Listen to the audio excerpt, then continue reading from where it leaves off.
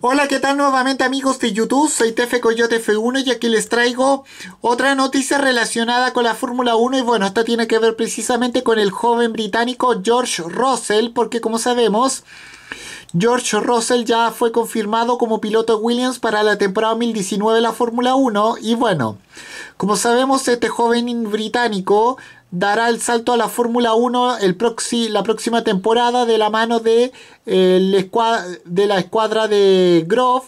Y bueno, después de un gran año de debut en la Fórmula 2 y bueno, con, le deseo la, la, le deseo la mejor suerte a George Russell en su debut con el equipo Williams. Y bueno, espero que sea eh, una buena carrera, una buena temporada debut para él. Y bueno, con esto me despido, nos vemos, adiós, fuera. Chao.